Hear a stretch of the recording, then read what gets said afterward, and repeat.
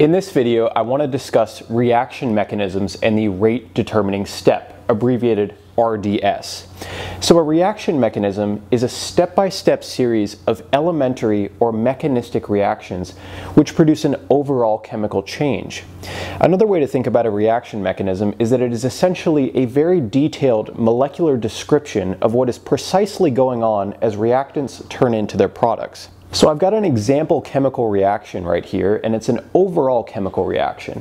This is the sort of chemical reaction we're used to seeing in general chemistry. All it shows are the reactants and the products, and of course we have a balanced equation.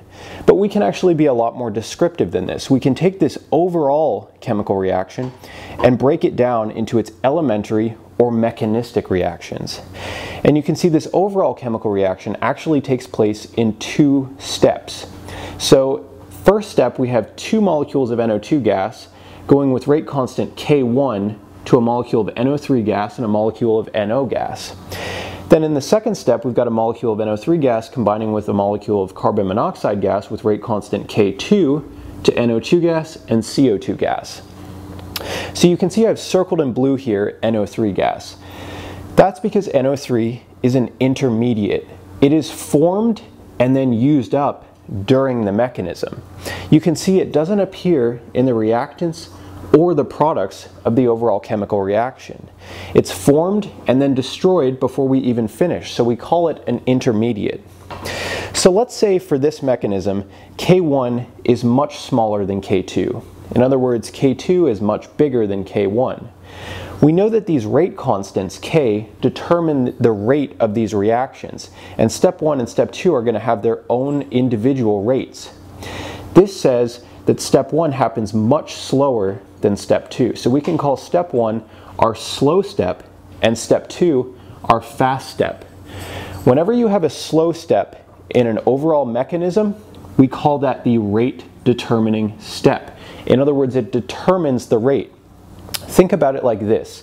A team is only as fast as its slowest player, just like an overall mechanism is only as fast as its slowest step. It doesn't matter how fast step two is if step one hasn't finished yet, right? We have to wait for step one to finish, and it's the slow step, so it's going to actually determine our rate. This means that an overall possible rate law for this whole mechanism could look like this, where the rate equals K1 times the concentration of NO2 squared. This means that two molecules of NO2 must have reacted at or before the rate determining step. So you can see our overall rate law is going to be based on the reactants of our slow step. We have two molecules of NO2 combining here. That's why we have concentration of NO2 squared. And of course we used K1 as our rate constant because that was the rate constant for our slow step. So you can see if you write the rate law for your slow step, you've written the rate law for your overall reaction. That's because this is the rate determining step. It determines the rate of the overall reaction. And make sure you know how to read these rate laws. This means that, again, two molecules, because of this square here, of NO2 must have reacted either at or before the rate determining step. In this case, they reacted at the rate determining step. Okay, let's do this example problem. So let's say the overall rate law for this reaction here, 2A plus B goes to C, looks like this. Rate equals the rate constant times the concentration of A squared. What this means is that two molecules of A must react at or before the rate determining step, or the slow step. So I want to know which out of these three mechanisms is a possible mechanism for this situation. And I want to note here that I've used the word I to denote an intermediate for all of these mechanisms. So in mechanism one, you can see it's only one step. Two molecules of A react to make C, and this is the slow step, and it, it is also the rate determining step because of that.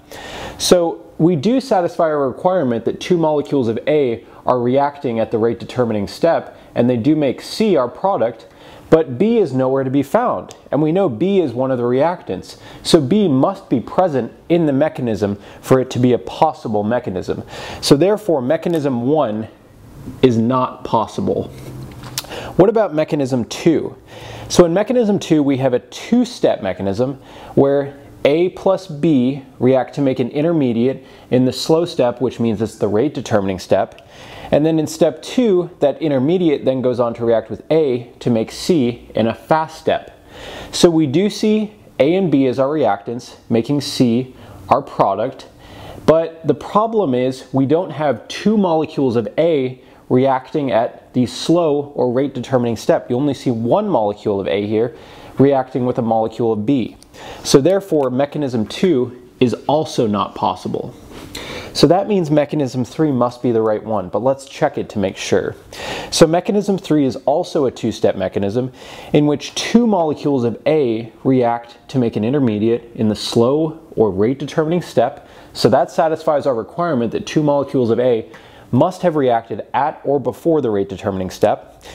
Then this intermediate that they generated reacts with B to make our product in the fast final step.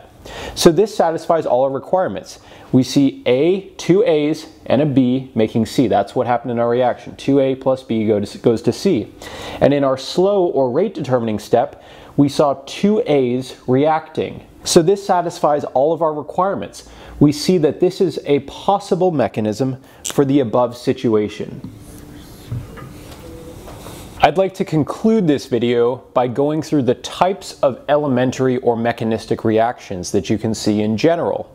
There are unimolecular, bimolecular, and then termolecular or trimolecular elementary or mechanistic reactions.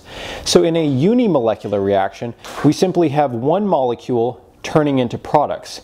And here is the corresponding rate law for a situation like that. In a bimolecular reaction, two molecules have to collide in the correct orientation with enough kinetic energy to make products. And I listed out two general examples of this here. And you can see this is the rate law for A plus A goes to products, and this is the rate law for A plus B goes to products. Finally, in a termolecular or trimolecular mechanistic or elementary reaction, you have three things colliding in 3D space at the right orientation with enough kinetic energy to turn into products. So I listed out two examples of that here. The first one has rate law K times the concentration of A cubed. The second has rate law K times the concentration of A times the concentration of B squared. And you should note that termolecular reactions are very unlikely to occur. That's because three molecules perfectly colliding in three-dimensional space in the right orientation with enough kinetic energy is very improbable. And I also want to really hit home that it is not necessary to determine the rate law experimentally for an elementary or mechanistic step. Notice how we did no experiments here, but we were able to write all of these rate laws for these reactions. If you have an overall chemical reaction, you do have to determine the rate law experimentally. But since we know what's happening on such an elementary or mechanistic level, it is not necessary to determine the rate law with an experiment. So I really hope this video helped you guys out. If it did, please give it a thumbs up and I'll see you in the next one.